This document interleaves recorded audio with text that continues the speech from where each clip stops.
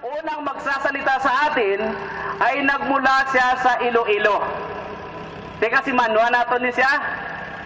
Okay? Siya ay nagmula sa Iloilo, ngunit sa kasalukuyan, siya ay nakatira sa ah, multi-national village, no? sa Paranaque. At siya ngayon ay kasalukuyang presidente ng Islamic Studies Call and Guidance sa Pilipinas. Ito'y matatagpuan sa Dasmariñas, Cavite. At dati siyang nandito rin, katulad natin na manggagawang Pilipino. Narito siya ah, bilang manggagawa sa loob ng 23 taon. So, sa makatuwid, siya ay nakakatanda sa atin. Okay?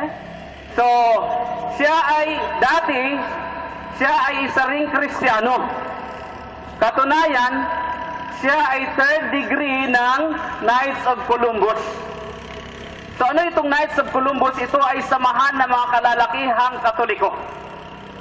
So, alamin natin sa kanya kung bakit niya tinanggap ang Islam, ipinagpalit niya yung kanyang posisyon bilang third degree ng Knights of Columbus at siya ay magbibigay sa atin ng katuruan patungkol sa Islam upang ibahagi din sa inyo. Nang sa ganon, kumbaga pa, gusto din namin sa inyo na magsama-sama tayo, hindi lamang dito sa mundo, bagkus sa kabilang buhay. Gusto ba ninyo yun? Gusto ba ninyo yun? Sinong gusto na magkasama-sama tayo sa kabilang buhay? Taas ang kamay. Yung iba ayaw sumama. Okay, so ganun pa man, tatawagin ko na ang ating unang tagapagsalita na si Brother Omar Pinelbir. Brother Omar? Bismillahirrahmanirrahim. Alhamdulillahi rabbil alamin. Wassalatu wassalamu ala rasulillah wa ala alihi wa sahbihi wa man tamasaka bisunatihi ila yaumiddin. Sa ngalan ng Allah ang mapagpala ang mahabagin. Ang lahat ng papuri ay sa Allah lamang, ang Panginoon ng lahat ng mga nilikha. Naway ang kanyang kapayapaan at pagpapala ay mapasalahat ng kanyang mga sugo at propeta at gayon din sa lahat ng taong tumatahak sa tamang landas hanggang sa araw ng paghuhukom. Mga mahal na kapatid at mga mahal na kababayan, bilang pandaigdigang pagbati ng mga Muslim na siyang pagbati na ginamit ng lahat ng propeta ng Panginoon, binabati namin kayo ng Assalamu alaikum wa rahmatullahi wa barakatuh. Ang ibig sabihin, sumainyo ang kapayapaan, pagpapala at habag ng Panginoon ang dakilang lumikha. Una sa lahat, nagpapasalamat kami sa ating Panginoong Diyos sa pagkakataon na ipinagkaloob niya at tayo ay nagkasama-sama ngayong gabi rito. Dalangin ko sa Kanya na sana hindi lamang sa ibabaw ng lupa tayo nagsasama-sama at nagtatagpo-tagpo, kundi higit sa lahat na sana hanggang sa kabilang buhay, sama-sama tayong lahat na inaani at tinatamasa ang mga biyaya na Kanyang ipinangangako sa lahat ng matatapat na sumusunod sumusuko at tumatalima sa kanyang mga kautusan. Likewise, nagpapasalamat ako sa pamunuan ng Islamic Center dito sa Malha, lalong-lalo kay Brother Isa sa pag-imbita sa amin. Ang katunayan, mga mahal na kababayan dito sa Jisan, iba't ibang lugar. Two days ago lamang ako galing sa Pilipinas, kaya napaaga ang balik ko dahil iniimbitahan ako na maisama rito sa Jisan. So, actually, may mga kapatid tayo galing sa Jeddah, may galing sa Al-Juuf, may galing sa Madina, may galing sa Al-Kubar, sa Riyadh, sa Damam, sa Hupuf, iba't ibang lugar, Tabuk, at iba't ibang lugar dito sa buong kingdom. Para sa inyong kaalaman mga mahal na kapatid, ako ang inyong kababayan, Tubong Iloilo, ngunit sa Manila rin ako, although ang punto ko ay Ilonggo, pero sa Manila ako gumraduate ng high school, doon nag-aral ng college, doon unang na-employ sa Far East Bank and Trust Company. I was previously working as a supervisor sa Far East Bank. Ngayon nag-merge sila ng BPI, Bank of the Philippine Islands. So while in the Philippines, I took up law, third year proper ako ng law sa Manuel Luis Quezon University. Ngunit na-offeran ako na magtrabaho as administration manager sa isang British company sa Riyadh hanggang sa nalipat ako sa German company at dito ko sa Saudi Arabia rin nakita ang Islam. Ngayon, I am in the Philippines, ngunit maliban sa Pilipinas, sa paglalakbay, iba't ibang lugar, maging sa UAE, sa Muscat, sa Oman. Next week, I will be traveling to Doha sa Qatar. At sa Pilipinas, iba't ibang kulungan, mga penal colonies, iba't ibang universities, iba't ibang kampo ng Army, ng Air Force, ng Marines, ng Navy, at headquarters ng mga pulis, iba't ibang eskwelahan at iba't ibang public places na imbitahan kami upang magpahayag ng mensahe ng Islam at para sa inyong kaalaman mga mahal na kababayan, maraming marami sa ating mga kababayan ang yumayakap sa pananampalatayang Islam. At sa dinami-dami ng ating mga kababayan na nagmumuslim, kapag nabalitaan ng iba, ang agad-agad sasabihin nila, sila anya ay nagpabinyag sa pagkamuslim. Ang iba sasabihin, sila ay nagpalit ng kanilang relihiyon. Mga mahal na kapatid, katulad ko na dating Kristiyano at marami tayong mga kababayan dito na dating Kristiyano na nagmuslim at maging kayo kung halimbawa mamaya-maya ay papasok din kayo sa Islam, mali ang sabihin na tayo ay nagpabinyag sa pagkamuslim o nagpalit ng ating relihiyon. Bagkos ang dapat itawag sa atin ay mga revert o ang sinasabing balik Islam. Kung bakit ko sinasabi na balik Islam, dahil kung pag-aralan ang buong kasaysayan ng Pilipinas, ang ating bansa, mga mahal na kapatid, dating bansang Muslim, na Christianize lamang ang Pilipinas nang tayo ay sakupin ng mga Kastila.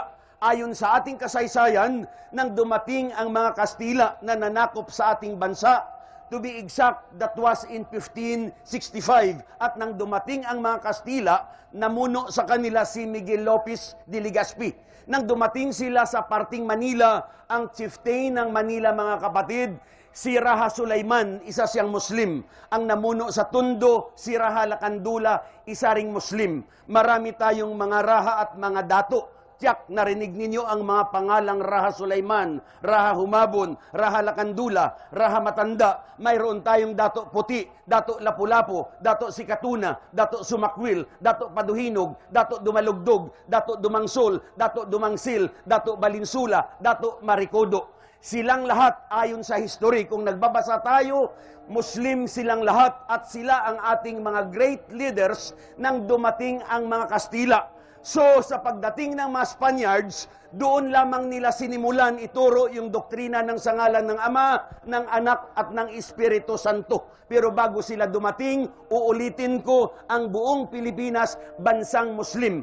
Kaya kung maraming Pilipino ang pumapasok ngayon sa Islam, mali ang sabihin na siya ay nagpabinyag sa pagka-Muslim o nagpalit ng kanyang relihiyon, kundi ang dapat itawag ay mga revert o ang sinasabing balik Islam. At of course, ang isa pang patunay, kung narinig ninyo ang kanta ni Yoyoy Villami, namatay siya, pero of course, authentic itong kanyang ni-research. Ang sabi doon sa kanta niya, ang lyrics, on March 16, 1521, when Philippines was discovered by Magellan, the people were baptized under the name of Christ and that's the beginning of our Catholic life. So doon lamang nagsimula ito mga mahal na kapatid. Kaya inuulit ko, kung maraming Pilipino ang nagmumuslim, mali na sabihin na siya ay nagpabinyag sa pagkamuslim o nagpalit ng kanyang relihiyon, kundi ang dapat itawag ay mga balik Islam.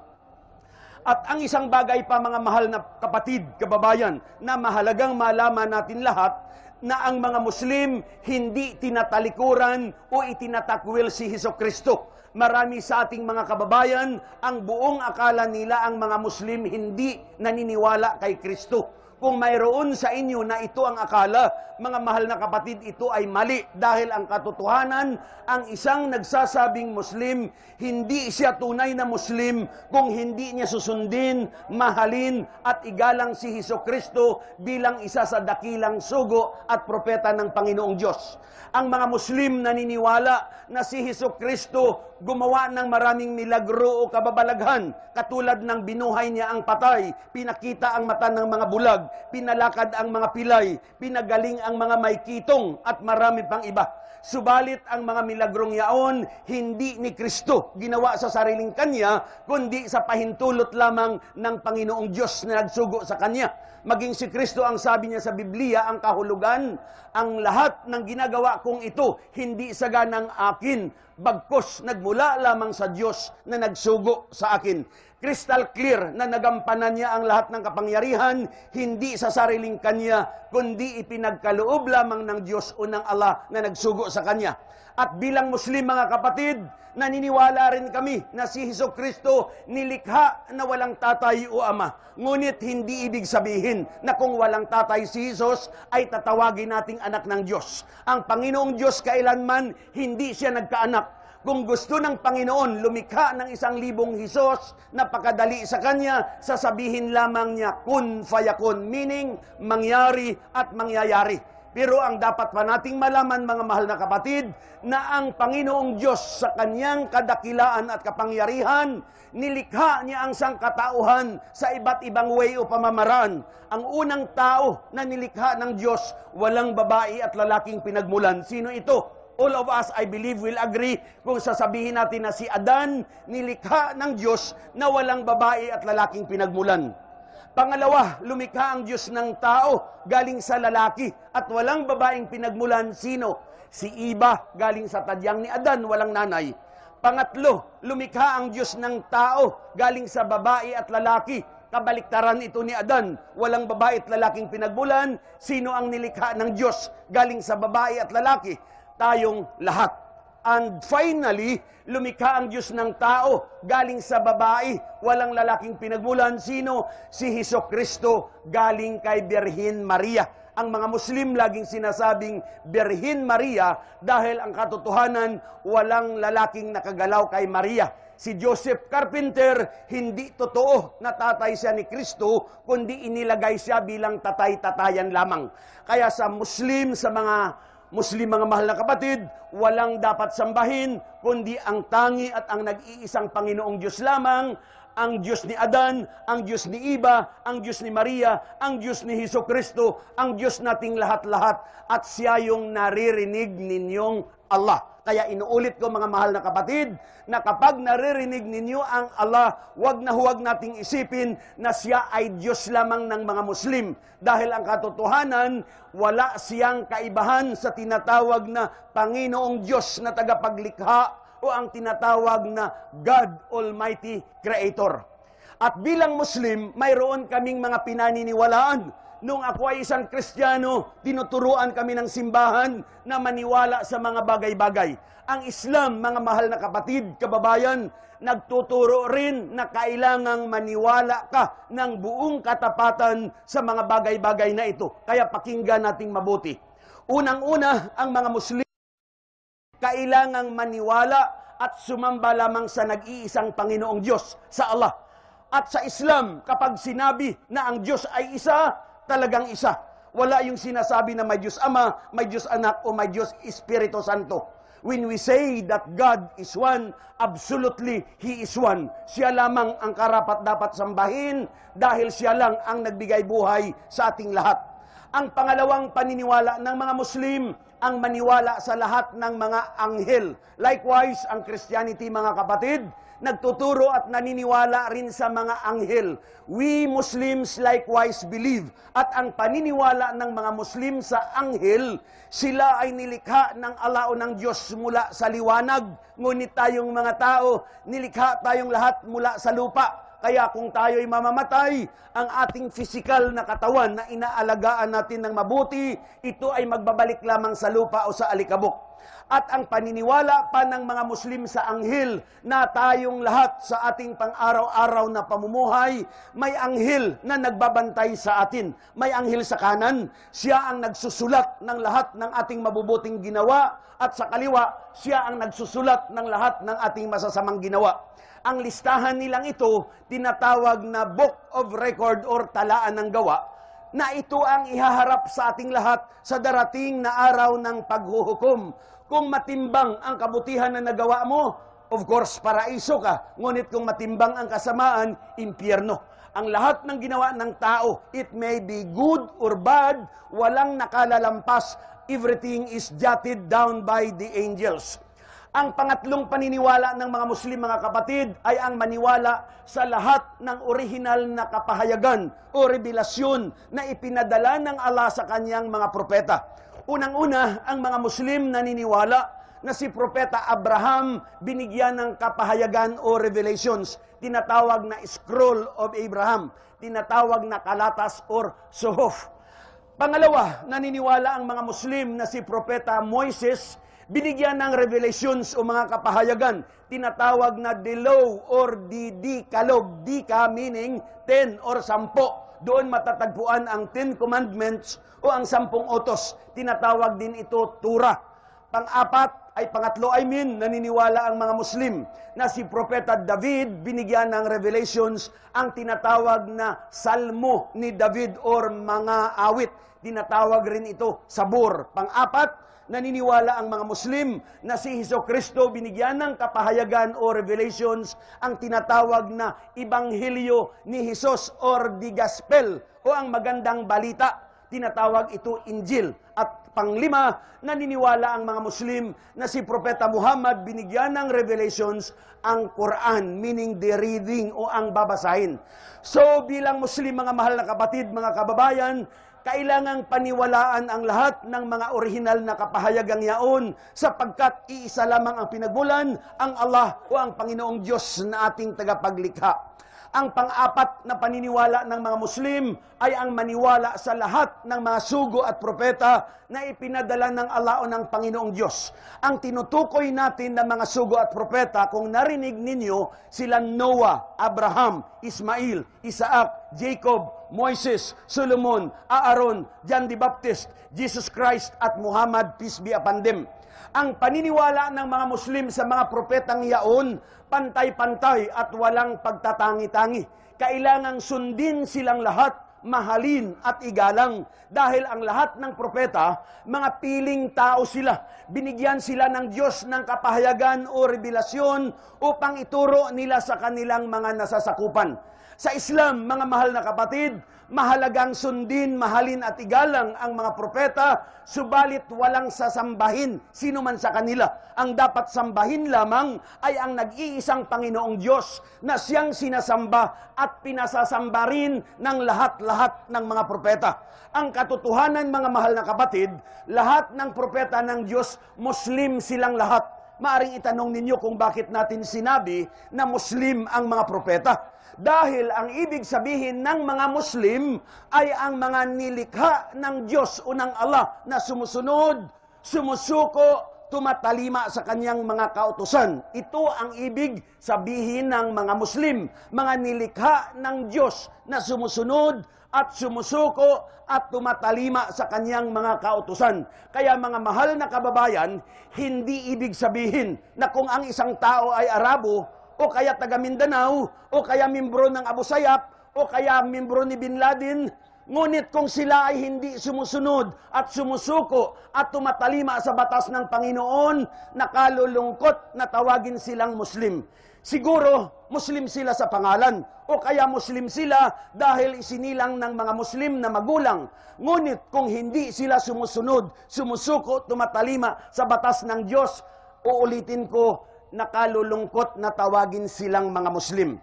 So kung bakit natin sinabi na ang lahat ng propeta ay mga Muslim dahil ang lahat ng propeta mga kapatid, kung pag-aralan ang kanilang buhay at kasaysayan, silang lahat tuwiran silang sumunod, sumuko, tumalima sa batas ng Allah o ng nag-iisang Panginoong Diyos. Katulad halimbawa ni Moises, If we have to study the life of Moises, ang turo niya noong kanyang panahon, kailangang sumamba lamang sa nag-iisang Diyos. At tuwing manalangin si Moises, sa iisang Diyos siya lamang siya tumatawag at nagpapakirapa kung magdasal.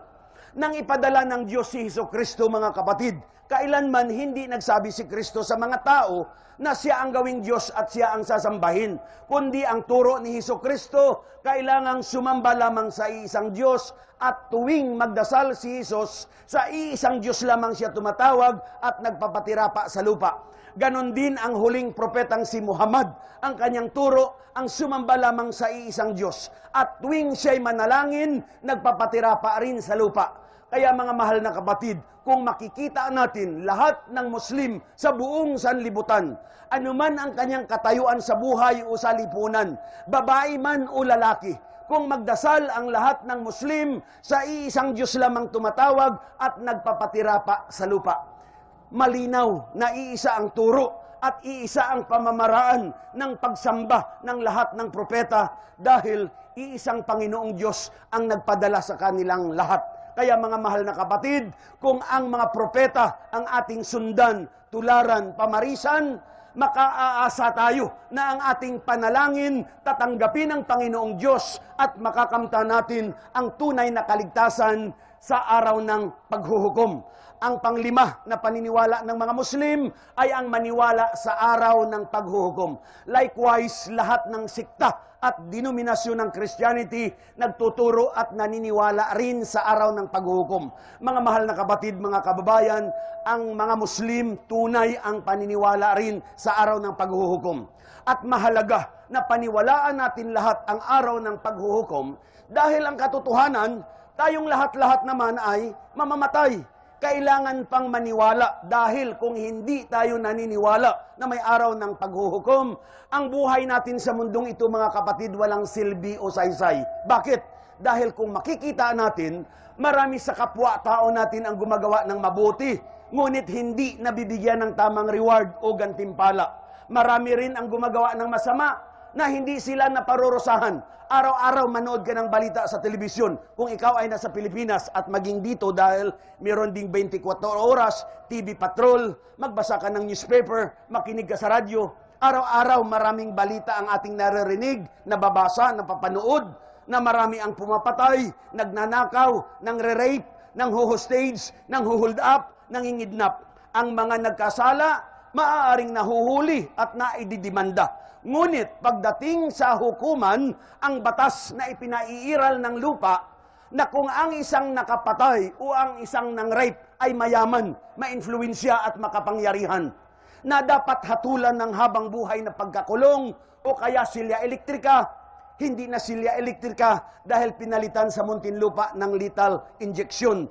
So instead na hatulan ng habang buhay na pagkakulong or lethal injection, dahil sa sila ay mga ma-influensya at mayayaman, ang kasalanan na nagawa nila nababaliwala. Ang tanong, nasaan ang tunay na katarungan? But if we believe on the day of judgment, mga kapatid, doon lamang natin matatamo o makakamtan ang tunay na katarungan. Kaya nga ang sabi ng Allah sa banal na Quran, Ba'at a'udhu billahi minas syaitani rajim, Kulu nafsin da'ikatul maut, wa innama tuwafawna ujurakum yawmal qiyamah. Meaning, ang sabi ng Panginoon, katotohanan ang lahat ng may buhay makararanas ng kamatayan.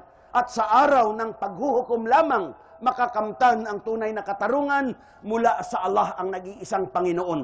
Ang pang-anim na paniniwala ng mga Muslim ang maniwala sa tinatawag na destiny o kapalaran, meaning itinakdang tadhana tinatawag na kadar. Ang ibig ipakahulugan dito, mga kapatid, mga kababayan, na anuman ang nagaganap sa ating lahat sa ibabaw ng lupa, tanggapin natin na ito ay nalalaman, plano at pinahihintulutan ng Allah o ng Panginoong Diyos. Kaya kung nagkasama-sama tayo ngayong lahat dito, mga kapatid, ito ay plano ng Diyos. Wala sa katiting na pangarap ko nung umalis sa Manila nung isang araw o maging kaninang umaga pag alis namin sa Riyadh, na eksakto ganitong oras, dito ako pipwisto at eksakto kayo ang aming makakasalamuha. Maging ang paghanap buhay natin dito sa Saudi Arabia, mga kapatid, ito ay plano ng Panginoon. Walang sino rito sa atin na noong grade 1 siya, inambisyon niya na pag-abot niya sa ganyang edad, dito siya sa Jisan maghahanap buhay o sa amang sulok ng Saudi Arabia. At maging kami na dating mga Kristiyano, kung nakparating sa amin ang tunay na mensahe ng Islam, nagpapasalamat kami.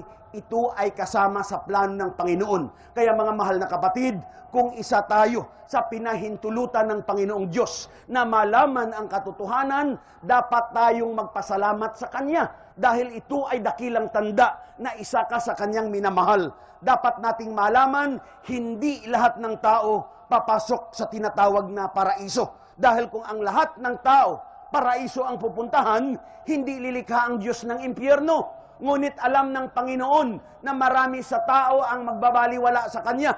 Marami sa tao ang magbibigay katambal sa Kanya. Marami sa tao ang magmamalaki. Marami sa tao ang gagawa ng hindi ka nais-nais. Kaya niya nilikha ang impyerno para may kasasadlakan ang mga taong mapagmalaki ayaw magtanaw ng utang na loob sa tunay na Diyos na nagbigay ng buhay sa Kanya. At ang pang-anim, ang maniwala sa tinatawag, I mean, at kailangang paniwalaan din mga kapatid, na kahit hindi natin nakikita ang Panginoong Diyos o ang Allah, ngunit tayong lahat ay nakikita niya. Maaring nandito tayo sa ground na ito. Ang ating pamilya at mga mahal sa buhay na sa iba't ibang sulok sila ng daigdig. Pero ang Allah o ang Diyos na karapat dapat sambahin, nakikita niya tayong lahat sapagkat ang Panginoon ay all-seeing, all-hearing, all-knowing. At siya ay nasa kataas-taasan nating lahat. Siya ang patuloy na tumutustos at nangangalaga sa atin bilang kanyang mga alipin at mga nilikha. So ito ang mga pinaniniwalaan ng mga Muslim. I would like to summarize. Una, ang maniwala at sumamba lamang sa Allah, sa nag-iisang Panginoon. Pangalawa, ang maniwala sa kanyang mga anghel. Pangatlo, ang maniwala sa kanyang mga revelasyon o mga kapahayagan. Pang-apat, ang maniwala sa kanyang mga sugo at propeta. Panglima, ang maniwala sa araw ng paghuhukom. At ang pang-anim, ang maniwala sa destiny o tinatawag na kapalaran. Maliban dito mga mahal na kapatid, ang Islam ay may limang haligi na ito ay dapat namang isabuhay ng isang may tunay na takot sa Panginoon. Sa Islam, hindi sapat yung naniniwala ka lamang. Dahil maging sa Bible ang sabi, faith without action is dead. Ang paniniwala na walang gawa, patay, walang silbi, walang saysay. Ganto din sa Islam mga kapatid. Kaya itong limang haligi, dapat itong isabuhay ng tao upang makamtan niya ang tunay na kaligayahan at ang tunay na kaligtasan sa darating na araw ng paghuhukom. So, ang unang haligi ng Islam ay ang tinatawag na testimony of faith, tinatawag na shahadatain. Sa testimony of faith o sa panunumpa, sinasabi ng mga Muslim ang meaning, pakinggan ninyong mabuti ang kahulugan, sumusumpa ako na walang ibang Diyos na sasambahin, kundi ang alalamang ang tagapaglikha. Naniniwala ako o sumasaksi ako na si Muhammad ang huling propeta ng Allah at naniniwala ako o sumasaksi ako na si Heso Kristo, anak ni Birhen Maria, propeta ng Allah o ng Panginoong Diyos. Ang ibig ipakahulugan mga kapatid, dahil sa sumusumpa ang mga Muslim na sa iisang Panginoon lamang sa samba at naniniwala na si Muhammad at si Kristo ay mga propeta, ang ibig ipakahulugan, sambahin natin ang tunay na Diyos ayon sa kanyang gusto at ayon sa itinuro at ginawa ng kanyang mga propeta. Ito ang dahilan kung bakit nagpadala ang Diyos ng mga propeta upang ang mga propeta niya ang ating sundan, tularan, pamarisan dahil sila ang daan tungo sa katotohanan at tunay na kaligtasan. Kaya ang ibig pagsabihin mga kapatid, hindi tama yung sasabihin natin na may relihiyon tayo, naniniwala tayo sa Diyos, nagdarasal tayo, gumagawa tayo ng mabuti, tama na, hindi natin kailangan ang Islam. Mga kapatid, mag-isip, mag-reflect tayong lahat please. Siguraduhin natin na ang relihiyon na kinalalagyan natin ay relihiyon na galing mismo sa Panginoon at relihiyon ito na ipinamuhay at ipinangaral ng kanyang mga sugo at propeta. At kung may Diyos tayong sinasamba, tiyakin natin mga kapatid na ang ating tinatawagan o sinasamba, siya mismo ang nagbigay buhay sa ating lahat at siya ang lumikha ng lahat ng bagay na nakikita natin at hindi nakikita.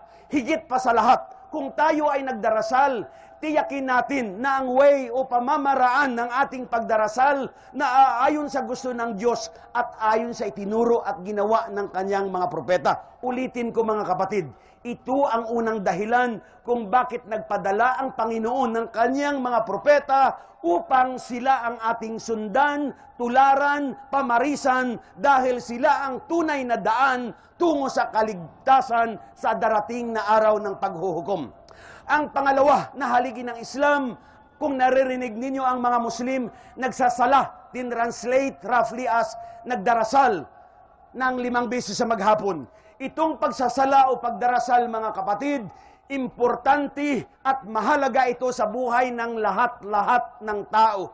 Kahit sino pa ang tao, ang pagdarasal importante at mahalaga sa kanyang buhay. Ngunit mga mahal na kapatid, hindi kailangan ng Diyos ang ating pagdarasal o panalangin. Kung bakit kailangan natin ang magdasal dahil tayong mga tao ang may pangangailangan. Tayo ang nangangailangan ng tulong, ng habag at ng awa ng Diyos. Isa-isip at isa puso natin na kung magdasal ka ng limang beses, kapatid, palagay ko hindi mo naman madadagdagan ang kapangyarihan ng Diyos. Kung ayaw mong magdasal, hindi mababawasan ang kanyang kadakilaan. Siya pa rin ang akbar, meaning pinakadakila, na siya ang nagbigay buhay sa ating lahat. Siya lamang ang nakaalam kung kailan kawian ng buhay. Kaya sa Islam, mga mahal na kapatid, anuman ang kalagayan ng isang tao, hanggat siya ay nabubuhay, hanggat siya ay humihinga, kapag dumating ang oras ng pagdarasal, kailangan gawin ito para pasalamatan mo ang Diyos, para purihin, dakilain, luwalhatiin, higit sa lahat, magtanaw ka ng utang na loob sa Kanya. Hindi ito katulad ng mga hindi Muslim. I am talking through experience. Dahil mga kapatid, ang katotohanan lang, ang mga hindi Muslim, ako noong panahon ko, na hindi pa ako Muslim, naalaala lamang ng tao ang Diyos kung may problema, naalaala ang magdasal kung may pangangailangan, kung nasa bingit ng kamatayan, o kaya nakatanggap ng balita na may problema ang kanyang pamilya at mga mahal sa buhay. Pero sa Islam, mga kapatid, anuman ang kalagayan natin, hanggat tayo nabubuhay, kapag dumating ang oras ng pagdarasal, kailang gampanan natin ito para magtanaw ng utang na loob sa Panginoon na nagbigay buhay sa ating lahat. At ang pagdarasal, pagkain ito ng ating espiritual na katawan. Nagpapapatawad ito sa mga kasalanan. Ang bayad sa pagdarasal mo, maaaring wala rito sa lupa Ngunit kaibigan, kapatid, kahit sino ka, mamamatay ka at magbabalik ka sa iyong Panginoon upang magsulit ka sa lahat ng iyong mga ginawa. Marami pa tayong matututuhan sa kahalaga nito. Ang pangatlong haligi ng Islam ay ang tinatawag na sakat. Tinranslate ito as charity or kawang gawa.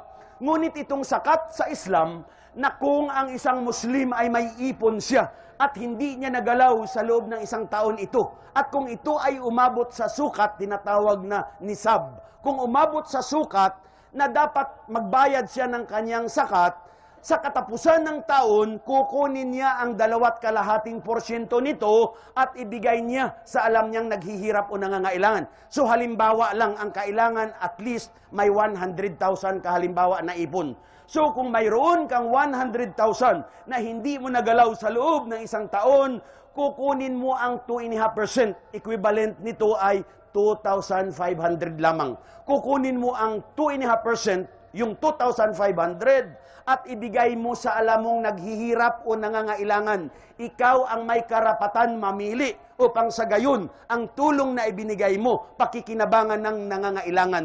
Ngunit kung wala kang ipon dahil ang kinikita mo ay tamang-tama lang sa iyo, hindi ka obligado. Kung kinakapos ka at kung ako ay may kakayahan, isa ka pa nga sa dapat bigyan. Hindi ito katulad ng ibang relihiyon na kahit wala silang ipon, ngunit pagdating ng katapusan ng buwan, inoobliga sila na magbigay ng tinatawag na tithe or ikapo ibibigay ito sa simbahan o kung sino man ang namumuno sa simbahan at hindi nila tiyak kung saan ito pupunta. Ngunit sa Islam, ikaw ang may karapatan mamili upang sa gayon ang tulong na ibinigay mo pakikinabangan ng nangangailangan. Ngunit kung wala kang ipon, kapatid, inuulit ko, hindi ka obligado. Ang pang-apat na haligi ng Islam, naririnig nating lahat, ang mga Muslim nag-aayuno, nagpa-fasting, nagpupuasa kapag buwan ng Ramadan. Itong pagpa-fasting na ginagawa ng mga Muslim, mga kapatid, mga kaigsuunan, mga kababayan, mga kapatid, hindi ito bagong utos ng Diyos. Dahil kung papaano ito inutos ng Allah sa mga naunang propeta at sa kanilang mga tagasunod, ito rin ang pag-aayuno o ang pagpa-fasting na ipinatutupad sa lahat ng Muslim hanggang sa kasalukuyan. So sa pagpa-fasting, dito ipinadadama sa lahat ang kanilang pagkakapantay-pantay. Anuman ang katayuan mo sa buhay, Maaring ikaw ang hari, ikaw ang prinsesa, ikaw ang presidente, prime minister, doktor, lawyer, senator, congressman, governor, tagawali sa kalye. Kung nag-aayuno ang lahat, ang gutom, ang uhaw, ang hirap na dinadanas ng isa, nararanasan ito ng lahat-lahat mga mahal na kapatid. Ang bayad sa pag-aayuno ng tao, maaaring wala rito sa lupa. Ngunit ang katotohanan, mamamatay ang lahat-lahat at magbabalik sila sa Panginoon upang mag-account sa lahat ng kanilang mga ginawa. Ang pang-apat na haligi ng Islam, ang panglima I mean, ay ang tinatawag na Hajj or pilgrimage. Maraming mga kababayan narito na dito nag-Muslim, I believe, na isagawa nila ang Hajj. Itong Hajj, inuobliga ang lahat ng Muslim na isagawa nila ito at least isang beses sa kanyang buong buhay. Pero ito ay may mga kondisyon. Ang mga kondisyon upang mag-Hajj o mag-pilgrimage, ang isang Muslim, unang-una, kailangan malusog siya, wala siyang karamdaman. Pangalawa, may sapat siyang salapi na gagastusin kung siya ay magsasagawa ng Hajj. At ang pangatlong kondisyon, kailangan matino ang kanyang pag-iisip. So, kung namimit mo ang lahat ng requirements, tungkulin ng bawat Muslim na isagawa ang Hajj. At sa pagha-Hajj, mga mahal na kapatid, doon muli ipinadadama ang pagkakapantay-pantay ng lahat at doon din ipinadadama ang tinatawag na araw ng paghuhukom. Kung bakit doon ipinadadama ang pagkakapantay-pantay ng lahat, sapagkat ang sino mang magsasagawa ng Hajj, anuman ang kanyang lahi, anuman ang katayuan sa buhay, saang sulok man siya ng daigdig galing, ang lahat ng maghahadж na kalalakihan, walang brief, walang sando, ngunit nababalot sila ng puting-puti na tela na hindi naman nakikitaan, ang kababaihan mahaba ang suot, makapal, maluwag at nakabilo kung papaano nagdadamit si Virgin Mary, pupunta silang lahat sa isang lugar upang manalangin sa Allah, sa Panginoon. Humingi ng tulong, humingi ng habag, humingi ng awa manalangin sa Panginoong Diyos na ibigay sa Kanya ang kaligayahan at kapayapaan sa mundong ito, higit sa lahat, hinihiling na ipagkaloob sa Kanya ang kaligayahan, higit sa lahat ang kaligtasan sa darating na araw ng paghuhukom. Kung bakit doon ipinadadama ang araw ng paghuhukom, dahil ang sino mang pupunta sa Hajj, kapatid, ang daladala ng tao ay ang kanyang katawan lamang, nakasuot sa kanyang katawan at kaunting panggastos habang siya'y naroroon. Dahil kung halimbawa isa kang Muslim na taga Pilipinas, ang bahay mo halimbawa ay halagang 20 milyon. Marami kang ari-arian, marami kang sasakyan. Kung pupunta ka sa Hajj, hindi mo ito pwedeng baunin kapatid. At ito ang dapat isaisip nating lahat. Halimbawa, malaki ang bahay na naipundar mo sa Pilipinas dahil maunlad ang trabaho mo rito. Ang bahay mo halimbawa ay halagang 20 milyon. Iba't iba ang sasakyan mo. Malawak ang ari-arian mo. Ngunit kung bawian ka ng Diyos ng buhay mamayang gabi, hindi ka na magising bukas, kapatid, tinitiyak ko, ni isang gulong ng iyong sasakyan o isang haligi na iyong bahay, wala kang madadala sa hukay. Ang lahat iiwanan ng tao. Ang titingnan lamang sa atin ng Panginoon unang-una kung sino ang ating sinamba, kung papaano natin siya sinamba, kung papaano tayo namuhay ng malinis sa lupa, ayon sa utos ng Diyos at ayon sa turo ng mga propeta na kanyang ipinadala. So ito ang limang haligi ng Islam. Una, ang sumumpa ka na sa isang Diyos ka lamang sasamba at maniwala ka na si Muhammad ang huling propeta ng Allah. Pangalawa, ang limang bis na pagdarasal sa maghapon. Pangatlo, ang magbigay ng kawang gawa kung ikaw ay may sapat na ipon. Kung hindi, hindi ka naman kung wala, hindi ka naman obligado. Pangapat, ang mag-ayuno sa buwan ng Ramadan at ang panglima, ang mag-hajj o mag-pilgrimage kung ikaw ay may kakayahan. Sa Islam, mga mahal na kapatid, mga kababayan, walang masama na magsumikap tayong lahat para umunlad tayo sa mundong ito. Nothing harm to strive in order to succeed. Pero huwag na huwag nating kalimutan mga kapatid na paghandaan ang tinatawag na kabilang buhay sapagkat naroroon ang buhay na walang hanggan. At ang paghanda sa kabilang buhay kapatid, huwag mo namang sabihin na tsaka na lang, tsaka na lang pagka nag-retire na ako rito sa Saudi Arabia. Ang iba naman, at saka na lang ako maging makadiyos kapag senior citizen na ako. How sure are you na aabutin ka ng senior citizen? Dahil ang sabi ng Panginoon sa kanyang kautusan, Ba'd a'udhu billahi minasyaitanir rajim, wa ma tadri nafsun mada taksibu gada, wa ma tadri nafsun bi ayi ardin samot. Ang kahulugan, sabi ng Panginoon, walang sino sa inyo ang nakaalam kung ano ang mangyayari sa inyo bukas. At walang sino sa inyo ang nakaalam kung saang lugar kayo mamamatay. Inna Allah alimun kabir. Tanging ang Allah lamang, ang Diyos lang, ang nakaalam ng lahat-lahat ng bagay. Isang magandang ihimplo mga mahal na kapatid. Kung makikita ninyo ang tunay na pangyayari, Maiiyak kayo sa awa. Yung nangyaring sindong nung isang araw lamang. Ilang kababayan natin, Muslim, Kristiyano, iba't ibang antas ang katayuan sa buhay, iba't ibang halaga ng bahay, iba't ibang sasakyan ang mayroon sila. Kung alam lamang nila na sila ay sasagasaan ng mga truso na pagkalaki hanggang sa ito ay ikakasira ng kanilang mga magagandang tahanan, siguro isang buwan pa lamang bago dumating si Sindong, tsak na nagtakbuhan, nag-alisa na sila. Pero ito ang katuparan ng sinasabi ng Panginoon. Walang sino sa inyo ang nakaalam kung ano ang mangyayari sa inyo bukas at walang sino sa inyo ang nakaalam kung saang lugar kayo mamamatay. Last month lamang, ang bahay ko sa multinational delayed sa Paranaque. So narinig niyo yung isang cargo plane, tatlo ang sakay. At ang dinaganan, binagsakan, pader lamang ang pagitan ng bahay ko.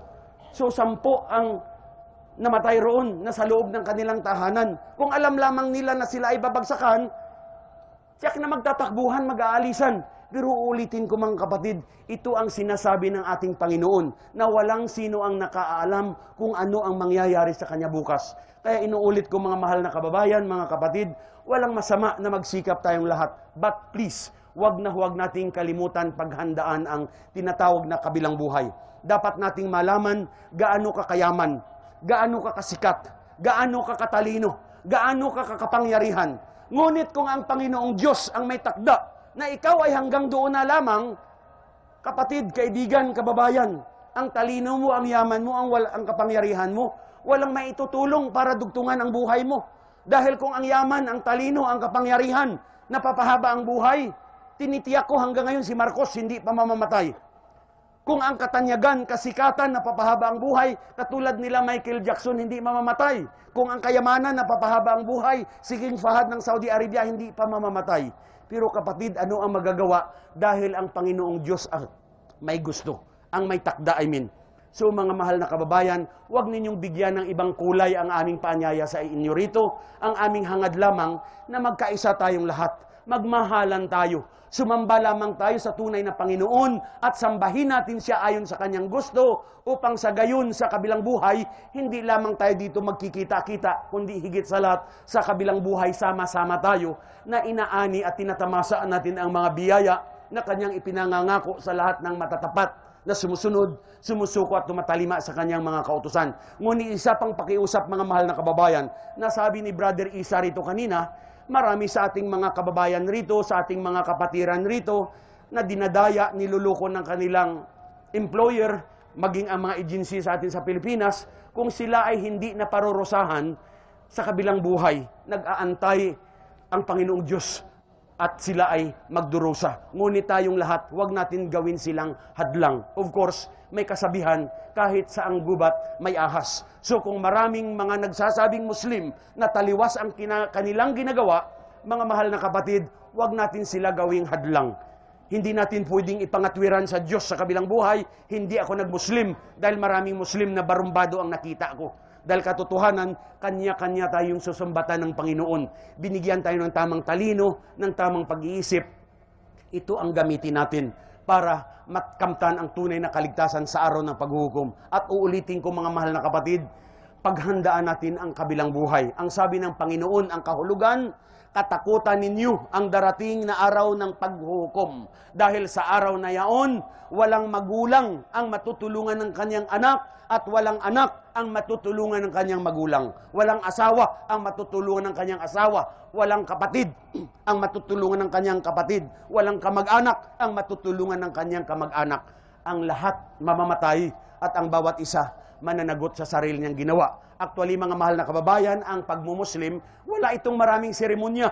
Wala yung sinasabi na bibinyagan ka at hindi naman kondisyon na kailangan marami kang alam. Ang pinakakondisyon lamang, wala kang duda sa iyong isip at puso na ang sasambahin mo ay ang tunay na Panginoong Diyos. Kahit hindi mo nakikita ang Diyos, ngunit ikaw mismo, tumingin ka sa salamin, kumplito ka sa bahagi ng katawan. Sa gabi halimbawa, kung may mga buntala sa kalangitan, sa araw may mga karagatan kang nakikita, may kabundukan, may kakahuyan, sapat na tanda ang mga yaon upang maniwala tayo na may Diyos na lumikha ng lahat. So kung ikaw ay nakahanda na ang sasam sasambahin mo ay ang tunay na Diyos na lumikha sa iyo at lumikha ng lahat ng bagay, manunumpa ka lamang kapatid. At kung ikaw ay tapat sa pagsumpa, ipinangangako naman niya na ang lahat ng iyong kasalanan kanyang patatawarin, katulad ka ng isang bagong silang, walang bahid ng kasalanan. Ito ang tunay na born again.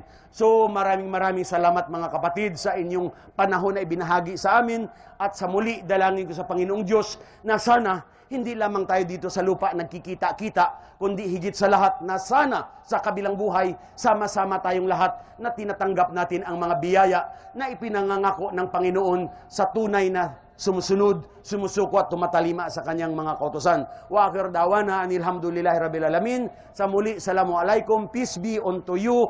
God bless. Maraming salamat.